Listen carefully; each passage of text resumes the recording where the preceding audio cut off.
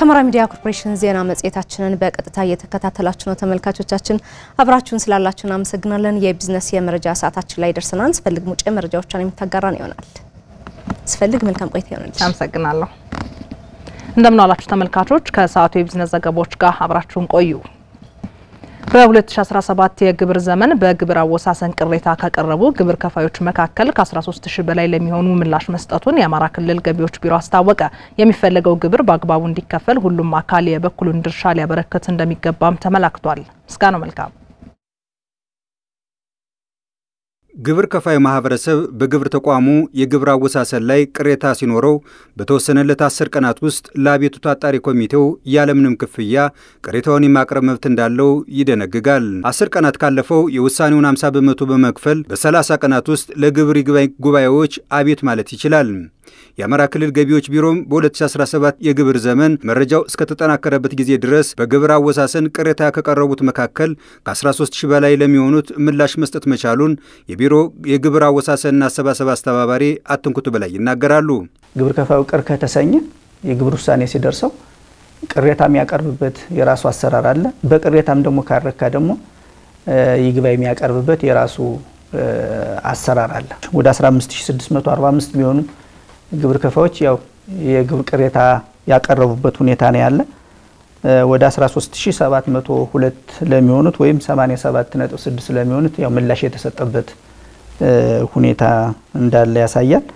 ከዚህ ውስጥ 40 percent የሚሆነውን በመቀነስ ያለውን ወቅታዊ ሁኔታ በማገናዘብ የገበያ መቀዛቀዙን ግብር ከፋዩ ላይ ያለውን ችግር ግምት ውስጥ በማስገባት 40 percent ካቀረቡት ውስጥ 40 percent ለሚሆኑት በመቀነስ የመልካም አስተዳደር ችግራቸውን ለመፍታት ያው ጥረት የተደረገበት ሁኔታ እንዳለ ያሳያል። አቶ አትንኩት አክለውም ቅሬታ ካቀረቡት መካከል በቢሮ ውሳኔ ያልረኩና ያልተደሰቱ ግብር ከፋዮች ለተቋቋመው ይግባኝ ሰሚ ኮሚቴ ካቀረቡት መካከል ከሁለት ሺህ በላይ ለሚሆኑት ውሳኔ መስጠት መቻሉን ጨምሮ ተናግረዋል። እንግዲህ ቅሬታ ካቀረቡት ውስጥ ደግሞ በቅሬታው ሳይረኩ ቀርተው ወደ 6298 የሚሆኑ ግብር ከፋዮች ይግባኝ ጠይቀዋል።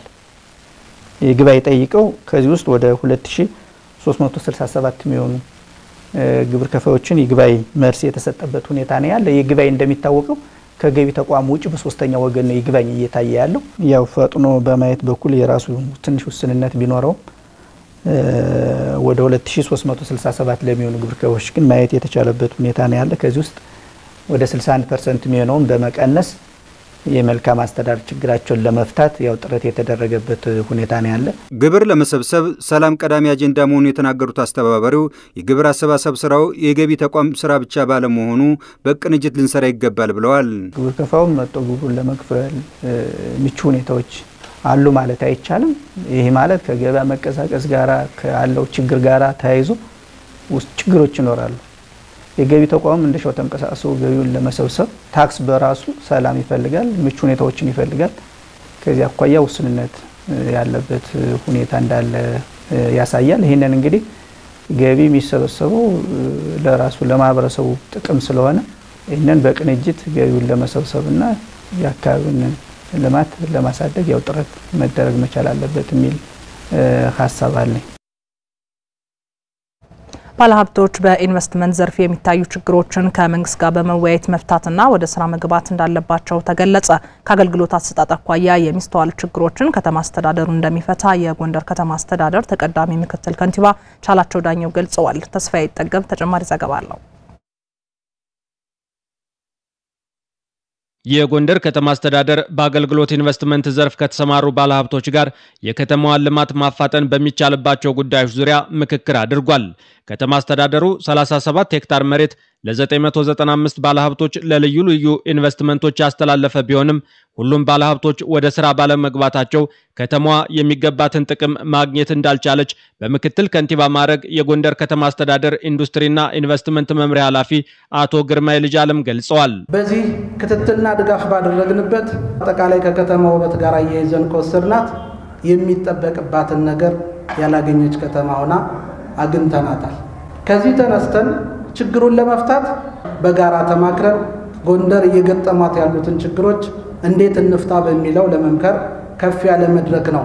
በጎንደር ከተማ አስተዳደር ለባለ ሀብቶች ከተላለፉ የኢንቨስትመንት ቦታዎች 29.9 በመቶ የሚሆኑት ግንባታቸውን አከናውነው ወደ ስራ ሲገቡ 2.9 በመቶ የሚሆኑት ደግሞ ግንባታ ጀምረው በልዩ ልዩ ምክንያቶች ያቋረጡ መሆናቸውን ከጎንደር ከተማ አስተዳደር ኢንዱስትሪና ኢንቨስትመንት መምሪያ ያገኘነው መረጃ ያመላክታል። ሌሎች 27.2 በመቶ የሚሆኑት ደግሞ መሬት ወስደው ወደ ስራ ያልገቡ መሆናቸው ተገልጿል። ምንም እንኳን ብዙ ፈታኝ ጉዳዮች ቢያጋጥሙም ወደ ስራ ባልገቡ ባለሀብቶች ላይ ከተማ አስተዳደሩ እርምጃ እንደሚወስድ የጎንደር ከተማ አስተዳደር ምክትል ከንቲባ ወይዘሮ ደብሬ የኋላ አንስተዋል። ባለሚ ባለሀብቶች ላይ እነሱን ውድ የሆነውን የመሬት ሀብቶቻችንም ኦዲት የምናደርግበት ነው፣ የምንግባባበት ነው።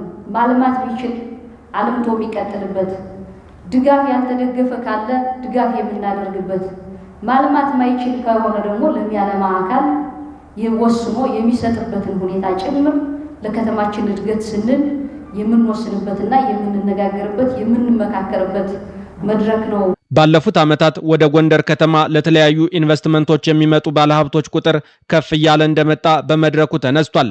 ነገር ግን ከጸጥታና ከአገልግሎት አሰጣጥ አኳያ የሚታዩ ችግሮች ባለሀብቶች በወሰዱት ቦታ ላይ በአግባቡ እንዳያለሙ እንቅፋት መሆኑን አንስተዋል።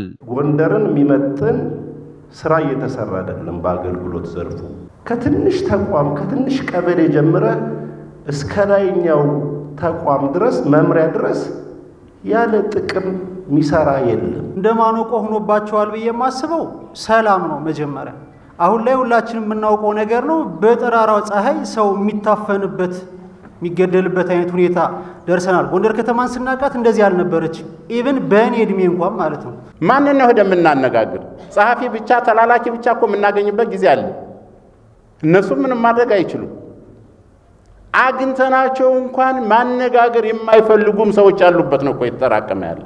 በባለ ሀብቶች በኩል የሊዝና ሌሎች አገልግሎት ክፍያዎችን በአግባቡ ያለመክፈል ሁኔታዎች እንደሚስተዋሉ ተገልጿል። ከአገልግሎት አሰጣጥ አኳያ የሚስተዋሉ ችግሮችን ለመፍታት ከተማ አስተዳደሩ የጀመራቸውን ስራዎች አጠናክሮ እንደሚቀጥል የጎንደር ከተማ አስተዳደር ተቀዳሚ ምክትል ከንቲባ አቶ ቻላቸው ዳኛው አብራርተዋል። የከንቲባ ችሎት ብለን አገልግሎት አሰጣጣችን እዛው ላይ መፍትሄ እንዲያገኝ ከተማ ለክፍለ ከተማ ለመዘጋጃ ምናምን የሚሰጠውን መገፋፋት እንድናቆም እዛው ላይ አንድ ችሎት ላይ መፍትሄ እየሰጠን ያለን ጥሩ የተጀመረ ነገር አለ። እሱን እናስቀጥለዋለን ማለት እየፈታ እንሄዳለን። በከተማዋ ያለው የኢኮኖሚ ሁኔታ እንዲነቃቃና ወደ ልማት እንዲገባ ለሰላም ሁሉም በጋራ እንዲሰራ መልእክት ተላልፏል።